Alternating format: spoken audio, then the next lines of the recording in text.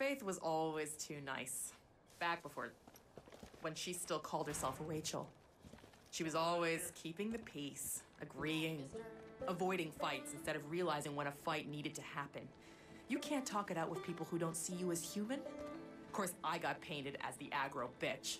But good ain't nice. And Rachel didn't get that. It was the only thing we ever fought about before. And she couldn't fight even when it was to save her own damn skin. Sucks to be right. You made Whitehorse proud.